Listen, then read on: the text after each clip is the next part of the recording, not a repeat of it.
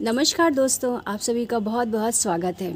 ये मैंने दिसंबर शुरू होने से पहले ही कुछ स्लैब सैपलिंग लेकर आई थी मैं गेंदे की। मतलब विंटर के बहुत सारे प्लांट्स के सैपलिंग लेकर आई थी और उनमें से जो कुछ बच गए हैं और इतनी ज़्यादा सर्दी पड़ी थी कि कुछ ख़राब भी हो गए हैं।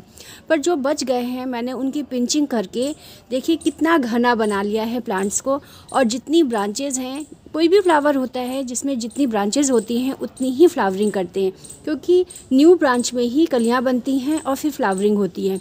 तो मैंने स्टार्टिंग से ही इनको सबको पिंचिंग करना स्टार्ट कर दिया था। फ्लावर्स आ रहे थे, पर मैंने फ्लावर्स का मोह नहीं किया था और दुख तो लगता था, पर मुझे पता है कि अभी एक फ्लावर अगर तोड़ेंगे तो उससे मेरे चार पाँच फ्लावर्स और आ सकते हैं। जो प्लांट बुशी होगा, उतना ही ज़्यादा खूबसूरत लगेगा। तो ये हर प्लांट की एक एक स्ट्रैटी होती है कि इस तरह से ही उसको घना बनाया जा सकता है पिंचिंग से और ज़्यादा से ज़्यादा फ्लावर्स लिए जा सकते हैं। ये काम मैंने एक महीने तक किया था। और अब फिर एक महीने के बाद मतलब जनवरी से मैंने काम छोड़ दिया था इनकी पिंचिंग करने का और फिर से फ्लावरिंग भी स्टार्ट हो गई थी और समय समय पर इसमें मैंने खाद देना रोका नहीं था। मतलब इतनी विंटर हो रही थी, उसके बाद भी इनको फर्टिलाइज़ करना बहुत ज़्यादा ज़रूरी है। जो इस समय जो रिज़ल्ट देखने को मिल रहा है, ये पुराने जो मेहनत है, उसी का ही नतीजा है। तो सर्दियाँ तो बहुत पड़ गई थी, धूप नहीं निकल रही थी तो उस समय इन्होंने फ्लावरिंग करना छोड़ दिया था। पर अब जैसे ही मौसम अच्छा हुआ है और प्लांट भी हेल्दी है, कोई भी मतलब किसी तरह की इस पर रोग दोष नहीं लगे हुए हैं। और अब फिर से मुझे इसमें कुछ जो फर्टिलाइज़र मैं यूज़ करती हूँ, बहुत इजी है मतलब कोई इतना महँगा नहीं है और अब कभी कभी तो अपने, ये हमेशा ही अपने घर में भी मिल जाता है। तो इसके लिए मैंने क्या, अभी जो मुझे करनी पहले तो प्लांट की पूरी सफ़ाई कर दें। जो अननेसेसरी जो घास वगैरह सब उगाई हैं, इनको हटाना बहुत ज़रूरी है।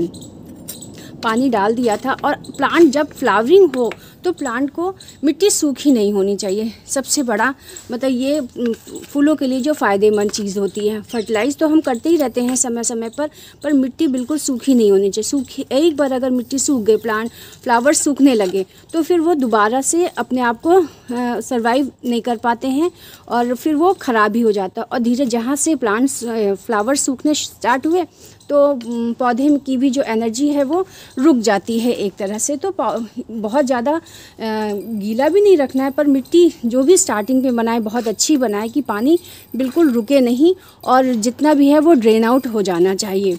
तो सबसे पहले तो सारी मिट्टी, देखिए सर्दियाँ थी, धूप नहीं मिल रही थी, जिसकी वजह से ये मतलब काई लगने लगी है, पर प्लांट पे कोई असर नहीं हुआ प्लांट पूरी तरह से हेल्दी है।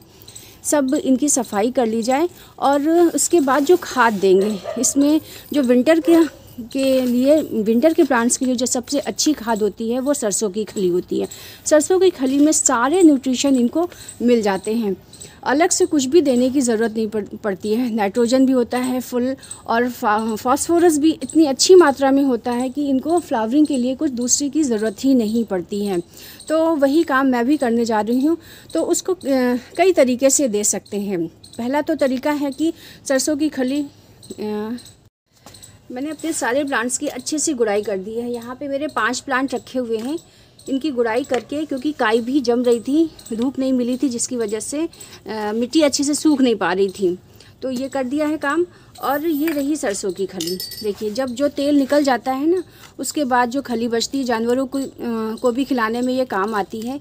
या ये हो तो इसको क्या कर जो मैं करती हूँ या तो पानी में भिगो के जैसे ए, आधा किलो, क्योंकि प्लांट्स मेरे बहुत सारे हैं तो आधा किलो मैं पाँच लीटर पानी में भिगो देती हूँ। और फिर एक एक मग मतलब एक एक लीटर को फिर तीन लीटर पानी में मिक्स करके, क्योंकि अभी सर्दी है तो इसको ज़्यादा मतलब पतला घोल देना चाहिए, पर उतना भी नहीं, काम कर जाता है। गर्मियों में तो ये बिल्कुल नहीं दे सकते, क्योंकि ये गर्म होती है। तो गर्मी को तो नहीं यूज़ कर सकते, पर सर्दियों में एक लीटर में तीन लीटर पानी मिलाकर उसी जिसमें हमने भिगोया है सरसों की खली को तो सारे प्लांट्स में अपने दे देंगे तो इनको फुल न्यूट्रिशन मिल जाता है। और नहीं तो ये इनके छोटे छोटे टुकड़े करके आप ऐसे मिट्टी में दो तीन जगह गाड़ भी सकते हैं। जैसे ये इतना छोटा टुकड़ा है तो ये धीरे धीरे डिज़ोल्व होगा और न्यूट्रिशन इसको समय समय पर मिलता रहेगा। एक दूसरा तरीका ये भी हो सकता है।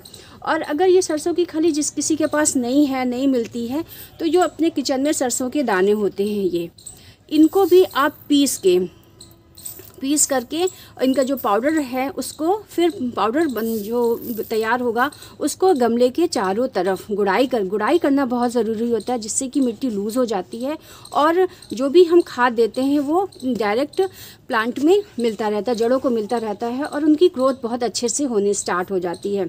तो जैसे और ये भी फ़ायदा है और जैसे ये है, एक गिलास पानी, मैं अभी खाली एग्जांपल बता रही हूँ, जैसे एक गिलास पानी में इसको दो दिन के लिए रख दिया है।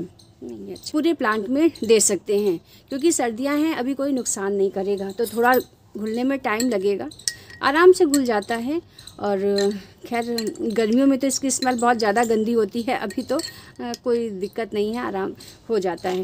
जैसे इसका थोड़ा सा इस तरह से पानी हो जाएगा और आप पूरे गमले में अपना इस तरह से दे दीजिए, चारों तरफ़ से। कुछ भी नुकसान नहीं होगा प्लांट में। तो ये ट्रिक ज़रूर फॉलो करिए। आपके भी प्लांट्स इसी तरह से हेल्दी होंगे, खूब सारे फ्लावरिंग करेंगे और ये इसमें मैरीगोल्ड ही नहीं विंटर के जितने भी प्लांट्स हैं, आप उसमें ये काम कर सकते हैं। तो कैसा लगा मेरा वीडियो? अगर थोड़ा सा भी अच्छा लगा हो तो लाइक करिएगा। जो भी मेरे चैनल में न्यू आए हैं प्लीज़ सब्सक्राइब ज़रूर करके जाइएगा। चलिए मिलते हैं फिर किसी नए टॉपिक के साथ। तब तक के लिए okay friends thank you and bye bye